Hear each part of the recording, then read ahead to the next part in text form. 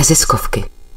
Dobrý večer, dobrý večer všem posluchačům Rádia Aplaus, všem vám, kdo víte, že v pondělí večer vysíláme neziskovky, tak už máme další pořad, respektive ne pořad, ale další díl připravený a u toho dnešního nového dílu vás vítá Ilona Včalová.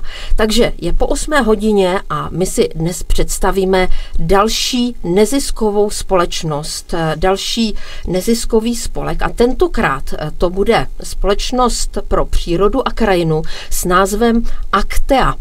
A mým dnešním hostem bude předsedkyně e, této společnosti a bude magistra paní Kateřina Kočí. Dobrý večer, paní magistro.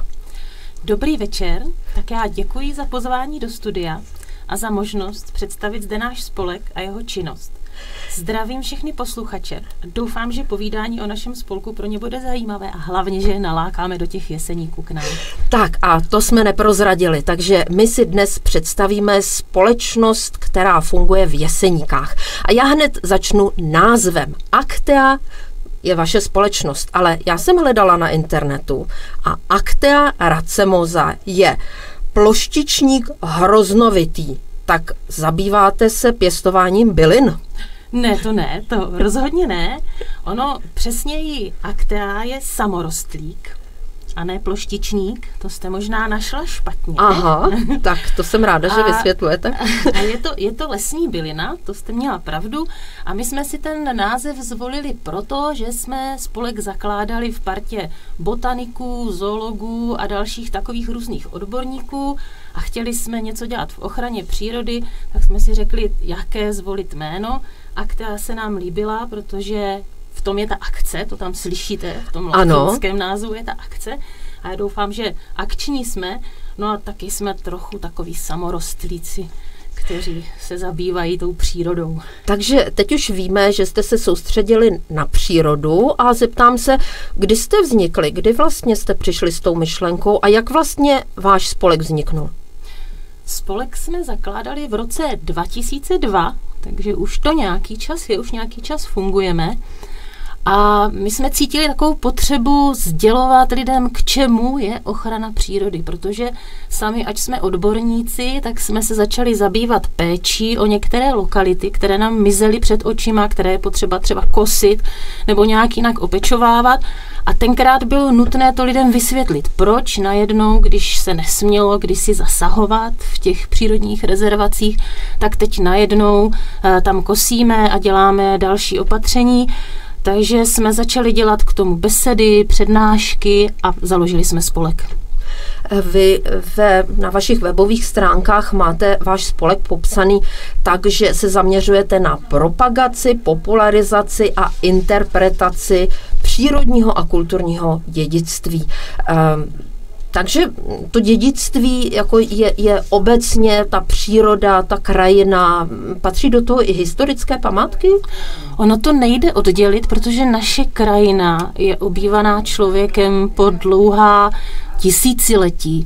Takže to, co dneska vidíte, tak divočinu prakticky v České republice nenajdete. Všude jsou nějaké lidské stopy, nějaké kulturní památky, všude narazíte na nějakou historii, i na nejvyšších hřebenech jeseníků se páslo, takže nejde to oddělit. To dědictví je přírodní, kulturní a historické. Eh, já se ještě zeptám, vaší základnou je jsou, je Karlova studánka? Naší základnou jsou Karlovice u Vrbna pod Pradědem a je to asi 10 kilometrů od Karlovy studánky zhruba. Ale já jsem mluvila o Karlově studánce, protože vy tam máte informační centrum. Čili je vlastně v Karlovicích i v Karlově studánce, nebo jsem teď spojila dvě, dvě, dvě různé věci? Teď jste spojila dvě různé věci. A e, to je část, e, o které já mám tady připravené delší Tak to necháme, povídání. ano, dobře, dobře. Tak ještě, ještě se zeptám, tak vy jste e, vlastně představujete jedno z těch agentur, které se zabývají ochranou přírody a to vaše financování je z Moravskoslezského kraje. Ještě o tom, když tak můžeme mluvit úplně nakonec, ale kde vyberete vlastně prostředky k té vaší aktivitě? My jsme z větší části financování z dotačních prostředků. Nemáme v současné době stále zaměstnance a na různé naše aktivity čerpáme z různých zdrojů národních, krajských eh, nebo i ze zdrojů Evropské unie, eh, abychom mohli dělat tu činnost, která si myslíme, že je důležitá. A zeptám se, pokrýváte celé jeseníky nebo se soustředíte administrativně na hrubý jeseník a nízký jeseník? No my se v poslední době soustředíme hlavně na hrubý jeseník, na uh, chráněnou krajinou oblast Jeseníky, což je to gro, čímž se teďka zabýváme, ale samozřejmě dotýkáme se i uh, těch oblastí kolem kolem Hrubého Jeseníku. A tam jsou ta nejkrásnější místa, jako je Pradět, jako je právě zmíněná Karlova Studánka. Eh, je pravda, že Karlova Studánka má nejčistší vzduch v České republice a možná, že i v celé Evropě někde jsem četla. no, říká se to. Z těch přírodních podmínek to určitě eh, pravda je, když to srovnáme eh, s Českou republikou, jen bych si myslela, že kdyby tam byl dnes menší provoz aut, že by ten vzduch byl ještě o něco čistší. No, ale to není dost dobře reálné, takže přání, není, ale není, je to asi přání. těžko lze udělat z celých jeseníků pěší zónu. Nejde to opravdu. Nicméně eh, vy se zabýváte i tou, eh, tím udržitelným turismem, který, eh, na který se budeme soustředit v dalším vstupu. Já jenom k těm krásným místům, jak jsem říkala, Pradět, Rejvíz, Mechové jezírko, Červenohorské sedlo, to asi znají mnozí lyžaři, takže zabýváte se i vlastně propagací jeseníků i třeba v zimě na to lyžování, nebo je to lyžování problém? Problém, že to škodí přírodě? No já bych to tak úplně nestavěla, že to škodí přírodě. V té historii má lyžování své místo v Jeseníkách, ale my se tímto problémem nezabýváme.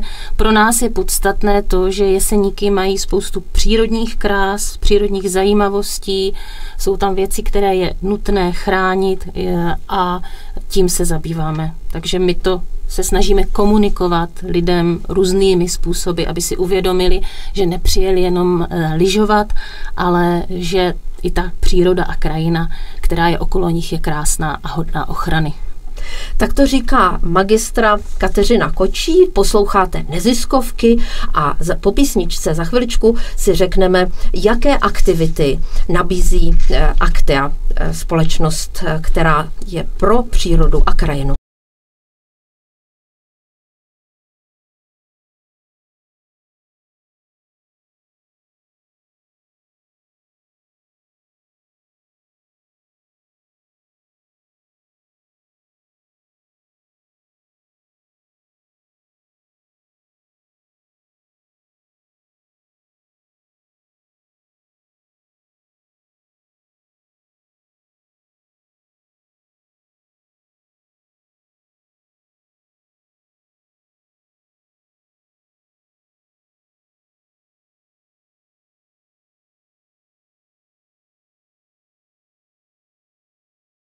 Různorodé aktivity. S čím jsme začínali hlavně, to byly naučné stezky. Takže když se podíváte, přijedete do Jeseníku, tak jsme dělali naučnou stezku Bílá Opava, Velká kotlina. To je ta krásná cesta takovým kanionem s ano, vodopádu. vodopády e, směrem od Karlovy Studánky na Pradět, až na Pradět se dá dojít. Ano.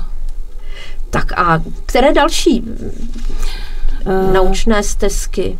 I to Mechové jezírko to mecho, na, na Rejvízu? Ano, ano, i to Mechové jezírko, hm, vlastně naučná stezka Národní přírodní rezervací Rejvíz. Co všechno uvádíte na těch naučných uh, tabulích? Jak jsem říkala už eh, předtím, tak se snažíme soustředit na přírodu ale eh, dotýkáme se i té historie člověka v tom území, co se tam dělo, jak lidé využívali tu krajinu eh, pro svou obživu a jaké stopy tam nechali. A vypořádáte také eh, aktivity pro školy a jakým způsobem pro, probíhají tyto aktivity? Pro školy nabízíme ekovýchovné programy a exkurze. Zatím eh, děláme ekovýchovné pro, programy hlavně na školách, takže dojedeme do školy, mm, uděláme nějakou přednášku s nějakou aktivitou, tak aby děti poznali to, co je v jeseníkách. Měli jsme teď třeba projekt Jeseníky za humny, kdy jsme objeli asi 15 až 20 škol v Jeseníkách a o Jeseníkách se dozvědělo něco zajímavého přes 2000 dětí tímhle tím způsobem a potom je bereme ven do přírody. A byly to děti jenom vlastně z oblasti Jeseníků nebo, nebo jezdí k vám i z větších vzdáleností? Jezdí k nám i z větší vzdálenosti. Do Jeseníku se jezdí hodně na ozdravné pobyty, na školy v přírodě nebo i na lyžařské kurzy a i pro tyto školy děláme ekovýchovné programy na těch ubytov- ubytovacích zařízeních, kde oni jsou. Škoda, že se v poslední době dělají školy v přírodě kratší, protože já jsem ten starší ročník a my jsme jezdili na 14 dní. Dnes jsou většinou ty školy v přírodě jenom od pondělka do pátku. Takže stíháte i během těch několika vlastně málo dnů? Stíháme, stíháme, uh, protože učitelé už tyto aktivity vyhledávají, už o nás vědí a chtějí, aby děti nejen byly na čerstvém vzduchu, ale také se něco dozvěděli. No a vy vydáváte také celou řadu publikací. Eh, jaké, já jsem tady, my jsme, eh, když jste přijela, přišla do studia, tak jste přinesla vlastně celý štos různých brožurek a knížek. Takže eh, jsou to publikace, které jsou takové jakoby jednorázové turistům do ruky, ale i celá řada jiných. Tak řekněte nám, co všechno vlastně je možné najít a kde vlastně tyto publikace se dostanou k tomu spotřebiteli. Všechny naše publikace jsou na našich webových stránkách. Tam si je můžou... Tak a ty webové stránky rovnou třeba nám www.actaea.c ano, ano. actaea.cz a e, můžete je koupit také e, u nás v nově otevřeném informačním středisku chráněné krajinné oblasti Jeseníky v Karlové Studánce, které jsme začali provozovat od roku 2019, čili loni, a letos v tom budeme pokračovat. Takže a mě by zajímalo, jestli takové ty menší letáčky, jestli nabízíte také třeba do centrál cestovního ruchu.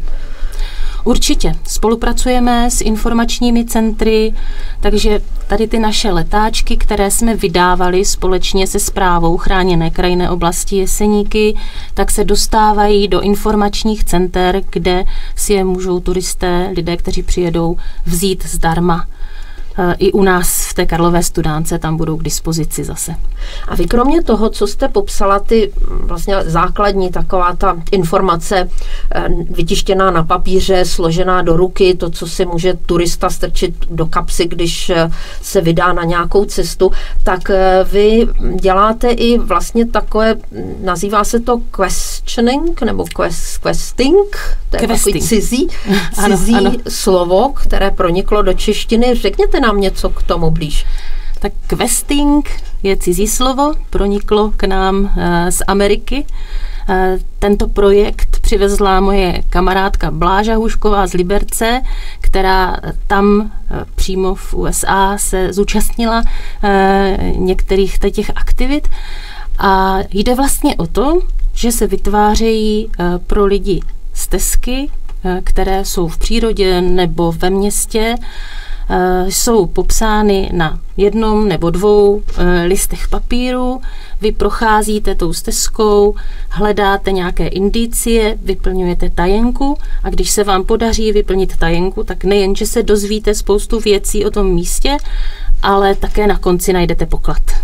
Tak to je, to je úžasné, to si myslím, že speciálně pro děti a dnešní děti. to je asi daleko lepší, než jim dát jenom nějaký letáček do ruky a říct, teď, teď půjdeme. Eh, děláte i třeba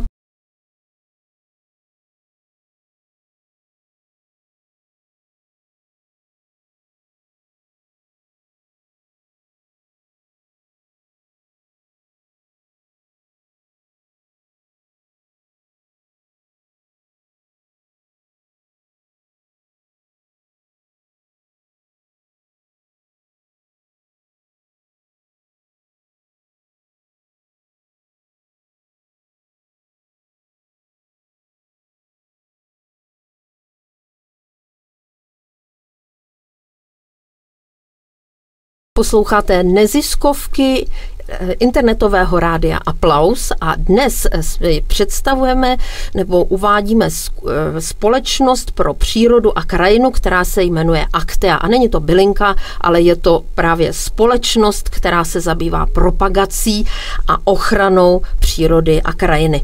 Tak moje, můj host, magistra Kateřina Kočí, která je předsedkyní této společnosti, jsme probrali už, jak společnost vznikla, Eh, co nabízí, ale budeme pokračovat dál, protože mě by, eh, paní magistro, zajímalo, eh, vy spolupracujete i s jinými neziskovkami, vy spolupracujete s obcemi, vy spolupracujete i s chráněnou krajinou oblastí Jeseníky, to jsem našla, že ta vznikla už v roce 1969, takže tam už to má dlouhou historii. Jak vlastně probíhá ta spolupráce? Vy jste mluvila tady o mm, publikacích, ale zmiňovala jste i nějaké um, informační, nějaká informační centra, takže pojďme si to schrnout, jak, jak fungujete vlastně a co plánujete do budoucnosti. Tak spolupráce s chráněnou krajinou oblastí Jeseníky je vlastně to naše eh, dnešní gro, dalo by se říct, protože my informujeme o Jeseníkách a tak eh, spolupracujeme s tím nejpovolanějším v oblasti, kdo má nejlepší informace, nejaktuálnější, kdo tam provádí péči o to území a snažíme se jim pomoci v tom, aby to, co dělají, se dostalo k veřejnosti a to prostřednictvím publikací, ale třeba i přednášek pro veřejnost, a, a nebo právě tím, že jsme začali v loňském roce společně provozovat informační středisko chráněné krajinné oblasti v Karlové Studánce.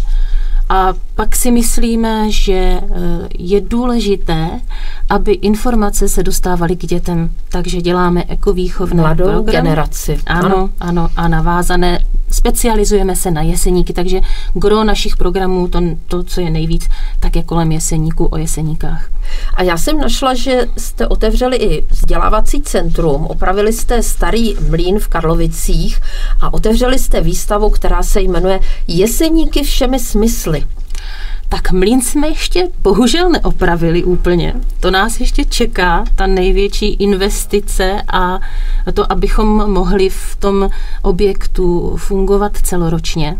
Takže ještě... fungujete jenom uh, my, v rámci turistické letní sezóny? My fungujeme v, ve Mlíně jenom v letní sezóně zatím. Tam se nedá v zimě opravdu. Tam je potřeba to zateplit a, a vůbec jako celkově opravit ale a proto taky jezdíme na školy, ale doufáme, že se nám to v brzké době podaří celé zrekonstruovat a že budou jezdit školy za námi. Ta budova je úžasná, já všechny zvu, aby se přijeli podívat, protože je to starý strojní mlín, který je trojpatrový, má uh, taková průmyslová okna, takže velice zajímavý objekt. Hodně světla hodně světla vevnitř. Prostoru, takže vevnitř, i na workshopy, ano, na, na ty ano, dílničky všelaké. Určitě, určitě vevnitř krásné dřevěné jak jste, trámy. Jak to, se to jmenuje no. správně všemi smysly, takže vlastně jo. i dáváte vašim, jak jsem vyčetla, návštěvníkům možnost se zapojit i něco tvořit, něco osahávat a podobně. Ano, ano, my, my zapojujeme. Vidět, slyšet. Ano, vidět, slyšet, uh, cítit. Zapojujeme všechny smysly. Máme třeba pradědův kabát, takže tam si v těch kapsičkách můžete nahmatat různé přírodniny a hádáte, eh, které to jsou. A k tomu samozřejmě podáváme informace. No a to jsou hezké plány, ale teď mi řekněte, eh, jestli se vám daří získávat odpovídající finanční prostředky, jak vám třeba mohou posluchači Rádia Aplaus pomoc, jak mohou přispět, nebo jestli vyhlašujete akce pro dobrovolníky, kteří k vám mhm. přijíždějí a pracují. Jak to funguje? Tak teď momentálně se snažíme eh, získat nějaké dotační peníze, protože ta mm, investice bude poměrně velká, ale chtěli bychom časem vyhlásit i nějakou sbírku, kde by nám eh, lidé mohli přispět tady na tohle naše vzdělávací centrum a na naše aktivity a uh, uvažujeme i o nějakých dobrovolnických akcích a všechno to bude na našich stránkách. Takže to znamená na www.adsta.ea CZ. Ano, je to, to trošku složité. Je to trošičku složitější, ale je to ta krásná bylinka. Ještě nám, prosím, paní magistro, řekněte, já jsem ji nějak špatně přeložila, takže v češtině se ta bylinka jmenuje... Jmenuje se samorostlík. Samorostlík. Takže najděte si samorostlík, kdybyste si nezapamatovali aktaea.cz a já bych vám eh, ještě prozraďte eh, ty nejnovější plány ještě teď konkrétně třeba, než začne turistická sezona. Na čem teď konkrétně pracujete? Tak připravujeme cestu kolem vody, interaktivní naučnou stezku, která povede z Vrbna pod Pradědem do Karlovic. Tuto stezku už brzy můžou posluchači najít také na webu Jesenické návraty, kde jsou typy na výlety. Tam bude natočená, takže si virtuálně můžete projít a potom v létě přijet k nám a z pod Pradědem kolem řeky Opavy se touhle zajímavou stezkou dostat až k nám do Mlína. A ještě se zeptám, dneska lidé mnoho eh, informací hledají i na YouTube. Nemáte nějaký propagační film nebo něco takového, kde by byly i ty obrázky vidět, nejenom v té uh, podobě uh, ano, jako ano. pasivní, ale no, je to, ano, i YouTube je pasivní, ale, ale prostě vidět tam. Ano, hýbe se to tam. Ano, hýbe se to. hýbe se to tam a. Hýbací obrázky. A je to, je to právě ta stezka, cesta kolem vody, která eh, je už dnes na eh, Facebooku vzdělávacího centra, eh, kde si můžete prohlédnout, jak se k nám dostanete.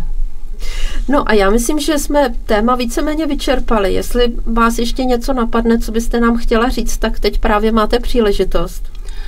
Já bych chtěla posluchače znovu pozvat do Jeseníku, aby e, viděli tu krásnou přírodu, aby se zastavili i u nás, ať už v Karlové studánce a, nebo v Karlovicích ve vzdělávacím a informačním centru ve Mlíně Karlovice. Tak já se k tomu doporučení určitě přidávám, protože Jeseníky jsem několikrát navštívila a musím říct, že to je krásná příroda a je to krásný kout České republiky a určitě e, stojí za to eh, jet do Jeseníku nejenom zimě lyžovat, ale, ale hlavně přes to hlavně léto a objevovat tu krásnou přírodu všude kolem nás. Tak já vám eh, za Radio Aplaus přeju hodně úspěchu vaší společnosti a i vám osobně přeju, aby se vám dařilo, protože vidím, že vy jste takový hnací motor té společnosti. Máte ještě, ještě, mm, kolik máte těch spolupracovníků, kdo všechno se zapojuje, abych